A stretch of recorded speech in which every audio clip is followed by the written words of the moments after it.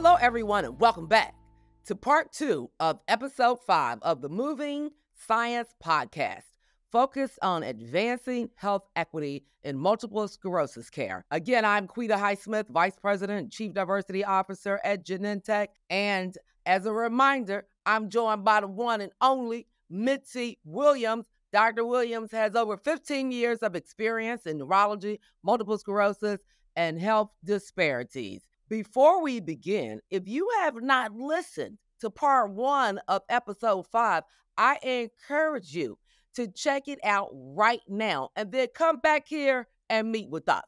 We discussed Dr. Williams' career that led her to founding her MS Center. She also gave us her insights on the existing disparities in MS care and the unmet needs of multiple sclerosis patients that need to be urgently addressed. All right, following where we left off on part one, where you discussed the existing disparities in MS, how can innovation address or even prevent these disparities? Quita, always a pleasure to speak with you um, and about a topic that is so near and dear to my heart and that I'm passionate about. So, we talked about disparities and how there's so many different groups that are considered underserved. You know, we touched on ethnic minority groups, we touched on rural populations, LGBTQ plus populations, as well as some of our age related populations, whether it's pediatrics or those who are over a certain age um, that are not part of our clinical trials. And there's this need for data to better understand, you know, what is keeping people from getting to the doctor, what may be interrupting care, as well as as what may be interfering with medication regimens, et cetera. And so innovation really is key because we've been doing things a certain way, you know, for many years, and that's gotten us to a certain, you know, to a certain point. MS treatment has, you know, uh, absolutely improved over time through many of the efforts of, you know, our industry partners and research studies, etc. But now we've got to go back to some of the basics, right? Understanding the people who are living with these chronic diseases, understanding their situation, um, how social determinants of health, such as their access to care, education, etc., is impacting their ability to carry out these plans, right? Because we can have all the best medications, all the best procedures in the world, but if people can't access them, they're not going to be effective. And so innovation is really important in looking at some of the newer technology that we have, um, looking at other ways to try to reach particularly those who are geographically isolated or maybe in what we call neurology deserts where they don't have access to definitely not an MS specialist, but also not a neurologist. Um, and so, how can we use some of these newer tools and technologies and these newer ideas to try to address some of these gaps in care? So, I think it's key and it's important, right? Our traditional model has brought us to a certain extent, but now to get to that next level, we've got to be thinking different and we've got to do something differently. And so, what are those different things? Like, what needs to be done so people with MS actually have access to those innovations? Absolutely. So I think that, you know, there are multiple things that can be done. I think one thing, just kind of backing all the way up, is making sure that people have access to clinical research and clinical trials. And I'm sure that we'll talk about that at some point during this conversation. But that's number one, right? Everybody needs to be included, right? Because when we're coming up with solutions, it's very difficult to apply a solution to a group that was never included in the plan or the concept. And so that's the first thing that definitely needs to be addressed is increase in diversity in our clinical research trials. Um, I think another area, you know, where there can definitely be bridging of gaps is looking at the use of things like telehealth, right? Um, making sure that people have access to broadband, internet service, et cetera, so that they can access telehealth. And how do we connect community, um, local clinicians with maybe some of our experts, you know, for difficult cases, et cetera. And so, you know, I think there's a lot that needs to be done, um, but certainly it goes back to uh, making our trials more inclusive. It goes back to addressing, you know, education in the patient community about the symptoms of MS and the importance of starting treatment early. Um, and then also going back to our clinicians and educating, you know, our clinician communities that, you know, MS can occur in anyone. We need to be looking for it and we need to be on top of it um, and making sure that people are accessing specialists and specialty care as soon as possible. let's talk about clinical research, right? Mm-hmm. We know that Black and Hispanic populations are very underrepresented in global clinical research studies. I'm talking about less than 5%. Right. Right. And we know that the majority of the patients aren't even asked to participate, even if they have the disease. How, and you know, there's a whole host of reasons. Oh, that we don't think they want to participate, this, that, and the third. But the reality is, when you ask the patient, are you interested in participating in clinical research? 83% of them will say yes. Why do you think that historically underrepresented people are not even asked to participate in the very thing that could really make a difference for them? Yeah, I mean, so that's a question we could spend a whole three podcasts on, Quita. But, you know, the short version is there is an assumption, right? So there is an assumption that people will not do it or that people will not be compliant with the research studies. And so, you know, when someone is conducting a trial, they're going to try to get a group or population that they think um, obviously will be the best person in the study, that will stay in the study, that will keep up with the visits, et cetera. And so I think that definitely bias plays a part in it. And I think that, you know, also, we have to make sure that we're taking the extra time to educate people about the study you know? So um, just like we would make sure there was appropriate education for you know any project if there's extra time that's needed, we need to not make snap decisions to not involve people in the research if they have hesitation. I think also sometimes getting family or other people who are decision makers involved um, in that process can be extremely important as well. Um, but I think that people are not asked because there's an assumption that they won't do it, maybe based on a previous experience, maybe based on something else. Um, but, you know, the first step is that people have to be asked. And one of the things that I really believe is that we've got to go into the community to educate them on the value of clinical research. I have this saying the four B's the bishop, the barbershop, the beauty salon, and the bodega. Like that's mm-hmm. where people are congregating. And so if you want to have a conversation, you got to go into the community. But the thing that I want to talk to you about right now is I remember years ago when I first met you, you had this vision around doing a study focused on Black and Hispanic patients to better understand MS. Talk to the people about how that vision came about and what inspired you to want to uh, double down and get this information.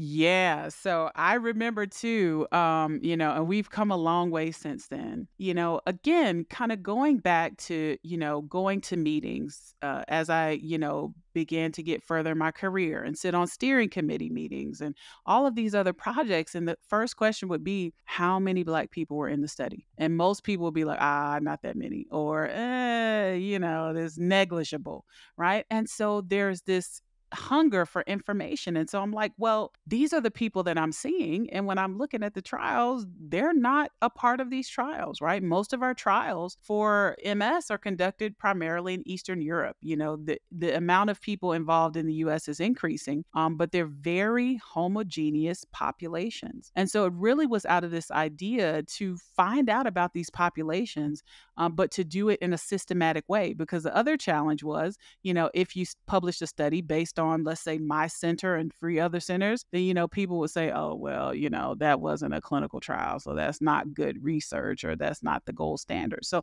let's do the gold standard. And so that's really uh, where the CHIME study was born. And certainly there are many other, you know, colleagues, um, Dr. Liliana Amezcua, others who had this same vision. And we were very intentional about how we created this trial um, to make sure that we were um, serving these populations well, um, and that we were being very intentional about how to recruit them into studies. Um, and so it is very exciting to finally see that come to fruition and to begin to report data on some of the results. We actually just finished the second year of the trial. And so, for those that don't know, CHIMES is a study that evaluated um, disease activity and neurological biomarkers in African American Hispanic patients with MS. And it was, you know, to provide more uh, focus on the disease. So why don't you tell us like why this was groundbreaking and what have been some of the results? Because to your point, there was a, there was a lot of fake news um, that people don't want to participate in this in a study like this or they wouldn't do it, right? And you did this study in a pandemic. And I think it was one of the fastest enrolling studies that we've had. Talk to them about it. Yeah, so this was amazing, right? Because it really was a proof of concept, right? So, you know, we enrolled Black and Hispanic American individuals with multiple sclerosis. Um, it took us three years to get the protocol created. We were very intentional, involving advocacy group representatives. We involved patient advocates in creating the protocol. And so it was very unique in that sense is that it really was a multi-stakeholder effort. And there were things that, you know, even some of us, you know, who are members of minoritized communities as clinicians were like, yeah, we shouldn't do that. The people are not going to go for that. And the patient's like, uh-uh, uh-uh, we want the best study. Do the best study, right? And so just having that input and that balance, um, I think was really, really groundbreaking. I think the second piece was that we started enrollment at the height of the pandemic in July 2020. Uh, so there certainly were barriers because many research centers weren't open. Um, but regardless, despite that, we over enrolled by 25% two months early in a group of people that people say don't want to be in trials. And I still have people asking me about it when I go to programs. Is it still enrolling? And I'm like, no, unfortunately, it's not. But it's a proof of concept, right? People do want to be involved when we are intentional about the way we approach them in doing the studies. We were also very intentional about the sites that were involved, the researchers, right? We tried to get as diverse a population of researchers um, as possible and those who were serving these communities. And that really made a difference. And I think, you know, the, the biggest part is intention um, we reported the first year of data. We reported some studies just about the concept of how we created the trial to make it successful. Um, and those have been very well received.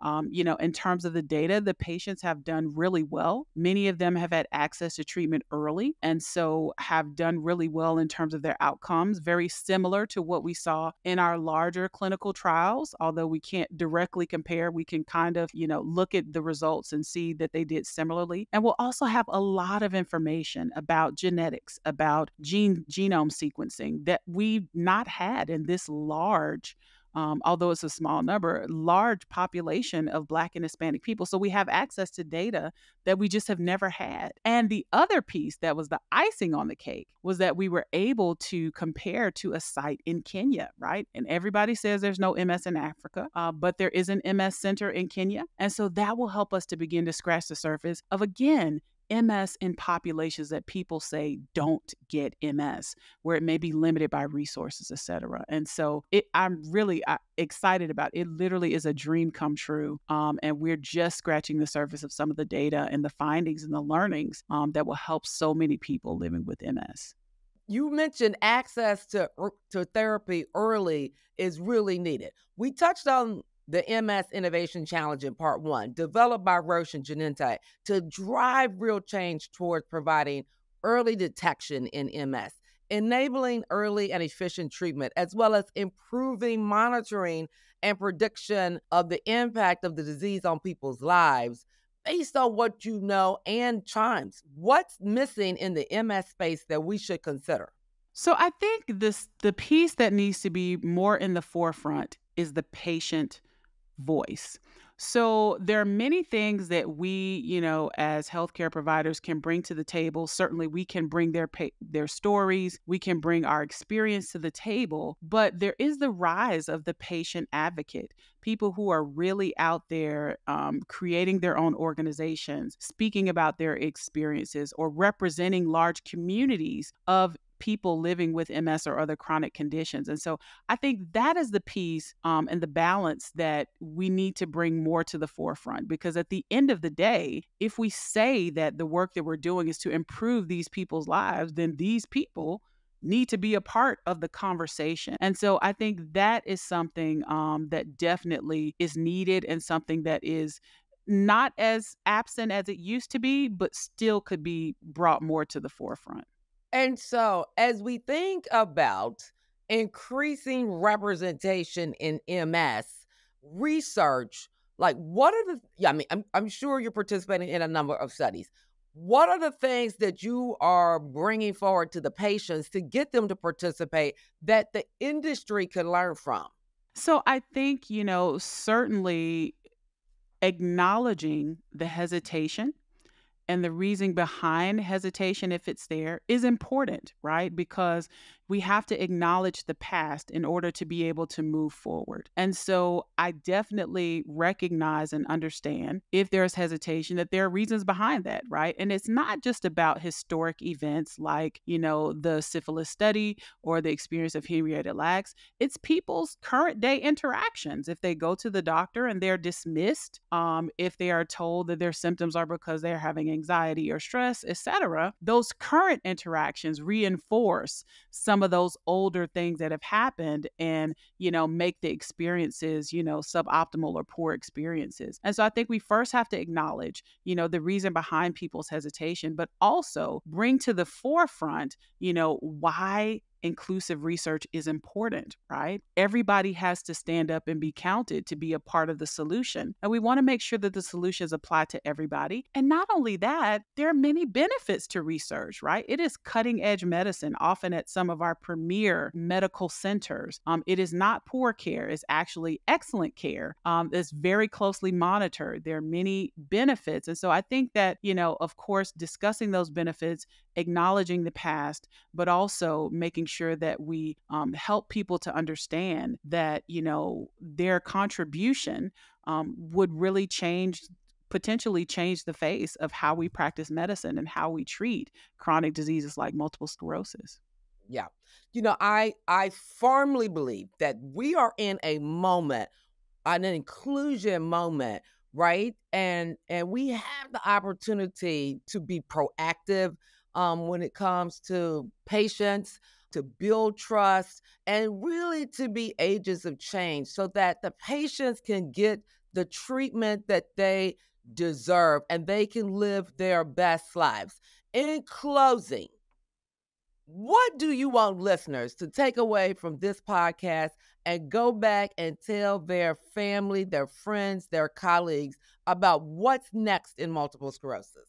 I think what's next is really addressing holistic care. I think that scientifically, what's next is trying to find a way to reverse damage and ultimately to find a cure. You know, we've always been very scared or hesitant to say that word, but I think that we're getting closer. And so I think that that's important. And the other piece that I would say is that research is important and that it's cool. I think it's important for folks to know that a clinical trial may not be for you, and that's okay. But there is a way for everyone to be involved in research, whether it's a survey, whether it is a study about diet or exercise. There's so many different ways to contribute. And certainly we want people to be in clinical trials, but my encouragement is always to get in where you fit in, right? So if you want to dip your toe in and do a survey study, um, then do that. And also recognize that research is all around us. You know, we do research all the time, whether it's to find a school, to find a car, uh, to find a new stylist, you know, and so it's a part of our culture. Um, but we get a little bit more, you know, hesitant or scared when we think about it in a scientific sense. Um, but we're all looking for the same thing ways to improve life and improve outcomes and ways to do better and live our best lives.